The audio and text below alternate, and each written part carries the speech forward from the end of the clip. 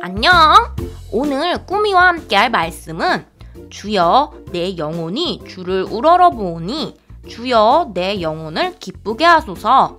시편 86편 4절 말씀. 아멘. 한 번 더.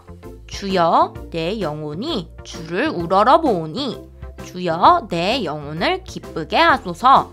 시편 86편 4절 말씀. 아멘 친구들의 영혼이 주님께 향하고 언제나 기쁠 수 있기를 바라며 우리 내일 또 만나. 안녕!